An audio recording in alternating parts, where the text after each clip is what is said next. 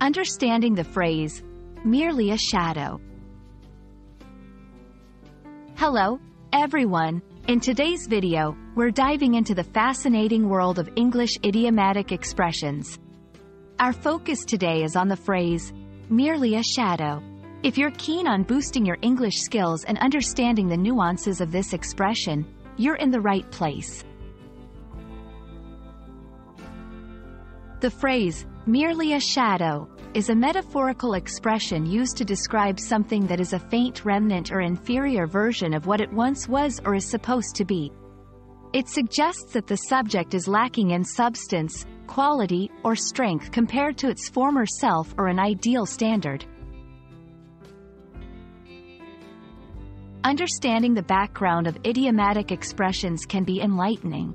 Merely a shadow has its roots in literary and poetic contexts, where shadows often symbolize something insubstantial or lacking reality. This imagery is powerful in conveying the idea of something being only a dim reflection of what it should be.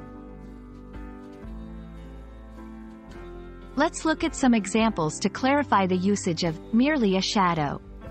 1. After the company's decline, the new product was merely a shadow of its predecessor's success. 2. The old mansion, now in ruins, was merely a shadow of its former glory. In these examples, merely a shadow emphasizes the loss of quality or grandeur. Understanding synonyms can expand your vocabulary. Similar expressions include only a shadow of, a shadow of its former self, a pale imitation, these variants carry a similar meaning but might fit differently depending on the context. And that's a wrap on Merely a Shadow.